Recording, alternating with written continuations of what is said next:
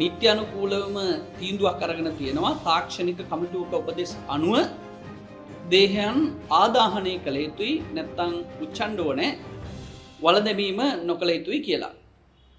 හැබැයි මේ තත්ත්වය දිගින් දිකටම ප්‍රශ්න කරමින් බොහෝ වෙලාවට මේට විරුද්ධව මතවාද ගොඩනගන පිරිස් කතා කරන්නේ යම්කිසි අන්තවාදී පිරිසකට මේ මුස්ලිම් දේහයන් ආදාහනය කිරීමට අවශ්‍යතාවක් ගොඩ නැගිලා තියෙනවා එනිසා මේක සිද්ධ වෙන්නේ අන්තවාදීන්ගේ අදහස් නිසා මිස මේක සිදුවෙන්නේ සෞඛ්‍ය කාරණා පදනම් කරගෙන නෙවේ කියලා.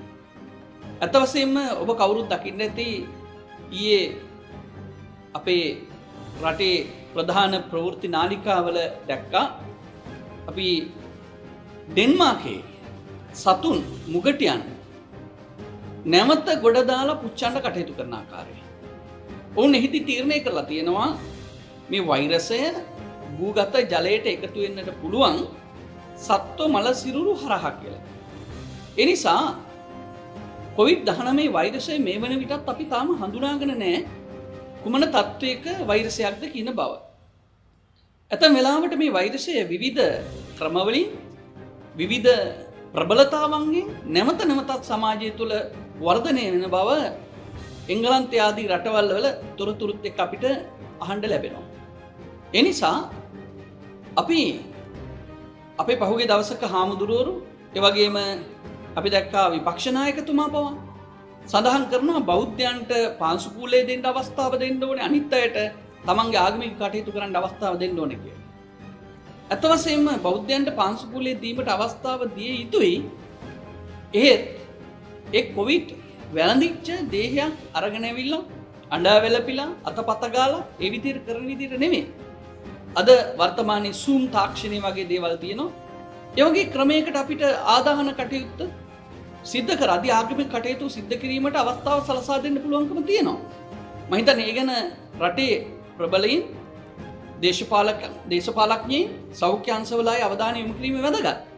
එහෙම නැතුව ඒ මළගෙවල් වලට පිරිස් රැස් වෙලා ඒ වගේ මේ දේහයන් වල අතපත ගාලා යම්කිසි හානියක් රටට සිද්ධ වුණොත් ඒ වගකීම කවුද ගන්න කියන එක අපි මෙහිදී ප්‍රශ්න කරන්න කැමතියි.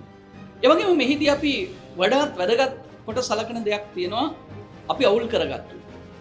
ඒ තමයි ආණ්ඩු පක්ෂයක් විපක්ෂයක් සුළු ජාතික ඡන්ද දිහා බලාගෙන තමන් තීන්දු තීරණ ගන්න කටයුතු කිරීම. මේක ඉතාම නරක තත්ත්වයක්.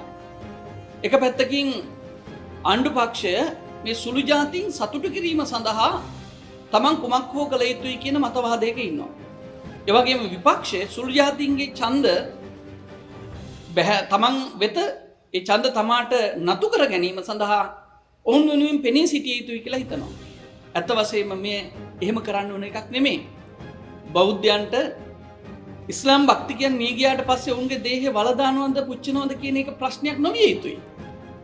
එවගේම කතෝලිකීන්ටත් එහෙම මුස්ලිම් උදවිය මියගයාට පස්සේ ඔවුන්ගේ දේහන් වලදානවද පුච්චනවද කියන එක ප්‍රශ්නයක් නොවිය යුතුයි.